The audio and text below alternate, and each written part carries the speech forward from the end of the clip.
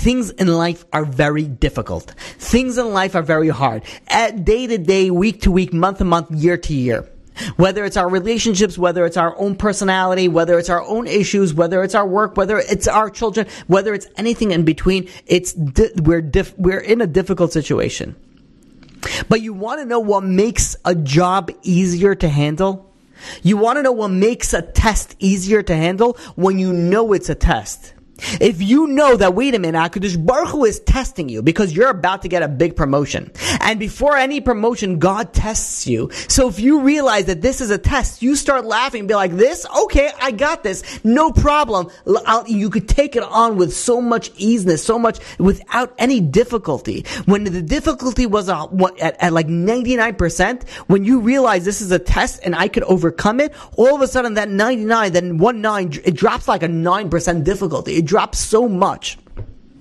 So we have to realize that on a day to day, we're constantly being tested. You read an article and you get angry. This is a test from HaKadosh Baruch Hu. It's a test of Emunah. You're feeling frustrated. You're feeling sad. You're feeling confused. This is a test of Emunah. How do you respond? Do you realize that God is in control? Or do you think, no, the Israeli army is in control and they're doing something wrong? They shouldn't be doing it. The United States should be doing this. The United Nations is a piece of garbage. It's not worth the paper that they write their name on, which is true, by the way, but nonetheless, you, you get so angry. Doctors Without Borders, what good are they when they support terrorism and they don't mention any human rights violation? What good is the Red Cross when they know all the disasters that's happening in Gaza and they don't mention anything? What good are journalists that are biased and they only care about their own agenda? And you can get frustrated, you could get angry, you could get sad, you can get confused, you can get frustrated, you can get any emotion.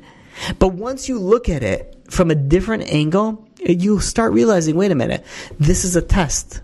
This is from HaKadosh Baruch Hu. This is from God. Am I going to get angry? Am I get, what is going to be my response? And this is not something that you can utilize just for the, the, the, the, the, the roller coaster of emotions that we're going through.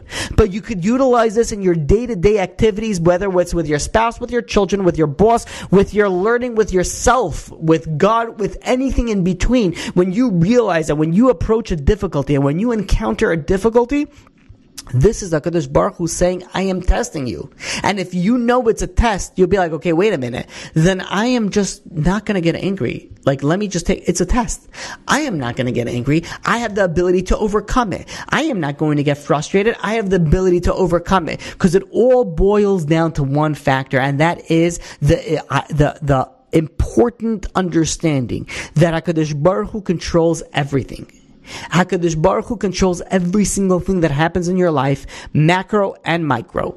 Everything from what's happening to Israel to the wrong shirt that you put on that day, to the spill of the coffee, or to the freeing of 300 Palestinian terrorists. Everything is from HaKadosh Baruch Hu. So when we look at it, anxiousness, anxiety, depression, sadness, all these things go out the window. Yeah, it's difficult. Yeah, maybe I don't agree. Yeah, I probably know better than the entire Israeli government. Yeah, I probably know better than everyone. But at the end of the day, that's not the correct response. The correct response is like, wait a minute, HaKadosh Baruch Hu is testing me. What am I supposed to do? Oh, yeah, maybe I say Tehillim. Maybe I improve. Maybe I'll learn a little bit more. Maybe I'll dress more modestly. Maybe I'll treat my spouse a little bit better. Maybe I'll treat my children a little bit better. The list goes on and on, and you each know what we you have to work on. We all know what we have to work on. So instead of going and getting frustrated, realizing that it is a test, and we this is the difficult part. We don't think like, hey, wait a minute, I'm reading an article. Like, how is that going? to... Yeah, no, no, that's a test. Like that article is written in a certain way that's going to trigger you. How are you going to respond to that? You're going to be frustrated. You're going to be angry. You're not going to be able to fall asleep. You're going to get anxiety. You're going to get anxiousness, or you're going to be like, no, wait a minute. This is from Hashem. This too is a test. And when we start realizing that, we can start controlling the roller coaster of emotions that we've been dealing since with October 7th. And many of us, and most of us, before that and after that. And this is the important, important lesson, the important takeaway that the next time that you're presented with a situation, whether it is an emotional, a physical, whatever it is, you have to stop for a second. You have to realize this is a test. And if it's difficult, then you know the value of that test. then you know the worth of that test. Because Yaakov Avinu, Yitzchak Avinu, they were all tested on the most difficult aspects of it. Because that's where growth begins. When it gets difficult, that's when you grow.